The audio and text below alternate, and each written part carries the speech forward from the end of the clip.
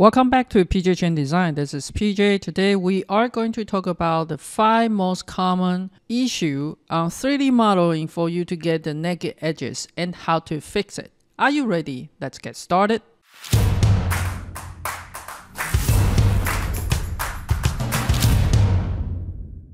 Before we starting to figure out how to fix the naked edges, I would like to explain what it is and how to find it. Let's say I have a box right here. If you explode it, they become the six faces, and then all the faces is not connected together.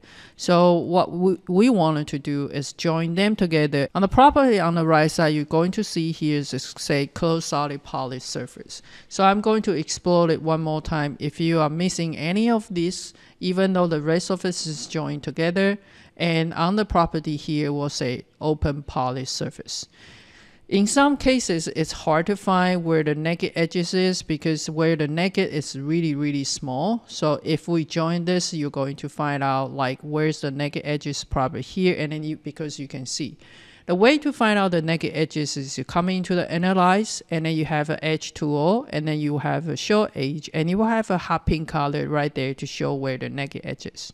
All right, so let's get into the point. The most mistake having a naked edges, number one, is the sweep. Let's take a look on this shape right here.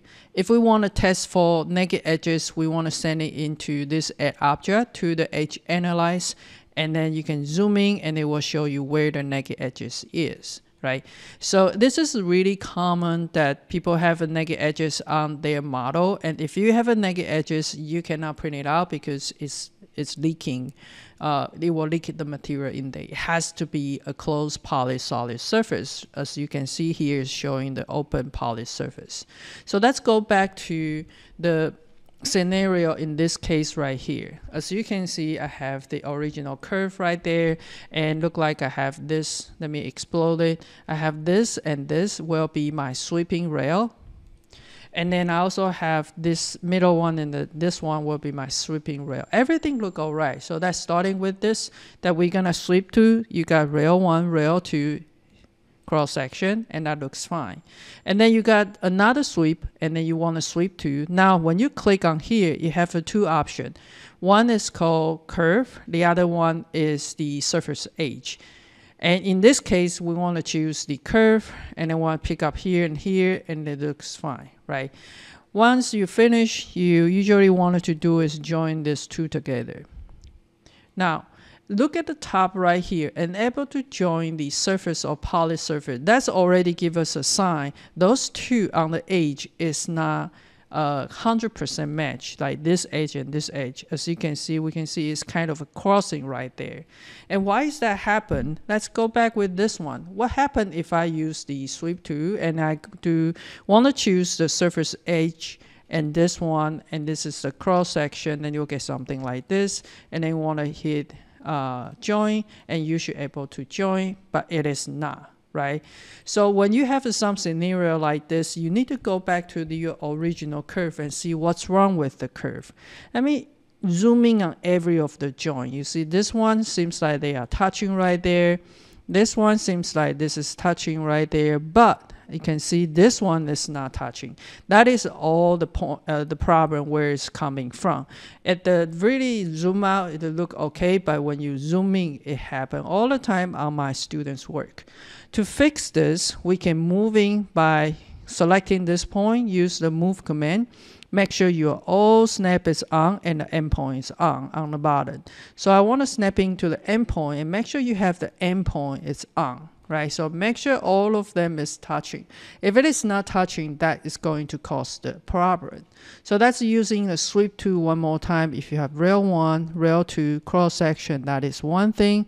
You have rail one, which those two should be exactly the same one. Um, in this case, so it doesn't matter which one you choose. We want to choose the surface edge here, and then we're gonna choose this one. So now we can join this one and this one they will become one piece able to join together so you won't have the naked edges in the middle. Double make sure we want to add the object. You can see all the naked edges on the side. It's not happening in the middle. So then we can solve this problem. So once again, most of the time, it's because the endpoint doesn't snapping into the endpoint for your curve. That will cause naked edges.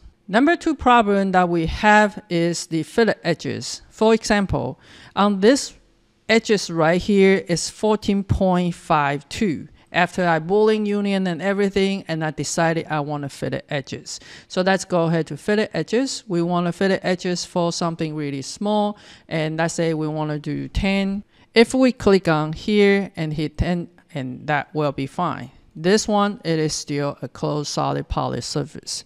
But in some scenario, you need to have a bigger fillet. And so let's say I wanted to do 15 instead of 10. And then when you try to fit it right here, and you want to use 15, it looks fine right there. But if you zoom in a little bit, you're going to see this cap like a round sphere is hanging on top of this. As using the Edge Analyze, we want to add the object right here. It will show exactly right here that is the problem. So how do you avoid this issue is you have to know what is the area you're going to fit it. The best, the uh, best way to do is using the dimension tool and then you want to measure from this point to this point coming out is 14.52. So anything smaller than 14.52 you will be fine. Doesn't have uh, it's not gonna have a naked edges. Let's say let's give it a try. I'm gonna use the fillet edges and I'm going to click on this edges for let's say I want to set it for 14.52 five one. Just one point like point zero one smaller and I want to pick up these edges and then we'll have something like this. That's sending for the test. Analyze edge tool and show edge and it's showing there's no naked edges. So remember how much you can fit the edges it's really important. You need to know it before you just go ahead to starting fit it. Let's take a look on the next one Number three, the most common mistake that people have the naked edges, again, is still with the fillet, but instead of a fillet edges, we're going to fillet surface. So for example, on the icon right here, you have fillet curve, you also have fillet surface, you also have a fillet edges, and fillet curve, which is only fillet, is using on the curve, fillet surface using on the surface, and fillet edges using on the solid, right? So now I'm going to use a fillet um, surface, and it's instead of picking up the edge, you're gonna ask you what surface you want to fit it. So I'm going to change the radius for 10, hit enter. I'm going to pick up this one, and I'm also going to pick up this one right there. All right, it looked fine, but the problem is it's dealing with this surface and also this surface, like those top and the side surface. It doesn't care about the third surface. It doesn't care about the neighbor. So if you send this whole thing, so even though you want to join back together and then you wanted to add the object and you're going to see there's a naked edges there. It's because you are using the wrong fillet. All right. So it happened a lot and having one piece hanging out there, it can redo it. It's much faster or you can just explode it into all the surface and trimming each other. You can trim it up off and then join back. All right. So let's take a look on the next scenario for number four the most common issue to have naked edges is when you're doing a, a bunch of the boolean and a lot of time the boolean coming into the point that you have that little triangle here and there little surface right there. Maybe you need to do something else so you need to explore them first and then you're gonna to join them back together in some scenario. So i may want to pick up some surface and then you want to pick up in one by one. This is when most of the problem that happen is you have to pick up one by one. So that's why I'm going to join everybody back and click on this one and it says uh, the open poly surface. And then we wanted to find out where it is and we pick up this one and then it is right there. So issue in this scenario is you pick up one by one and you didn't join certain faces back and then accidentally delete it and that's how you get this type of the naked edges. Number five, the most common issue for the naked edges is when you do the flow or flow along surface. So for example, I have a pattern right here and this pattern is really well calculated. On the surface that I have on the bottom it matched the first point. And coming back to the very last one I have that point right there. So in order to have this flow it back to this surface we are going to use the flow along surface command. It's going to pick up this object right here and it's going to pick up one of the end. I'm going to pick up right here. And coming into the target right here I'm going to pick it right here now let's take a look on this one. It look everything look fine, but it's a little bit tighter on where the connection is, and this is where you usually have the naked edges. Let's take a look. It is an open poly surface. We're gonna use again analyze tool. We have an edge tool, and we want to show edge and like what I say, here is where the naked edge is. If you zoom in enough, you're going to see that it has a gap there. You can try to fill the gap if you want to, but I don't like to do patching work. So I wanted to show you how I usually fix this issue. It's really simple. When you have the object like this, you have this open right here. And then when this is flowing to the ring, it's going to stretch, which means the straight area is not no longer to be straight. So what I like to do on this one, I'm going to cap this one first to turn them into the solid. And we're gonna do exactly the same thing, flow along surface. And I'm going to pick up this object right here. I'm going to pick up the surface and coming into the target surface, I'm going to pick it right here. All right, so right now what we are seeing, if you click on this one, it's a closed solid poly surface. Ideally, this one should work, but there's a problem. What is the problem? There's a surface right there because we put the surface right there. It, because we put the surface right there, it allows us to have the gap connected really well. But we need to remove that extra surface. Otherwise, when you got printing, there's an extra surface inside of the shape. It doesn't work right?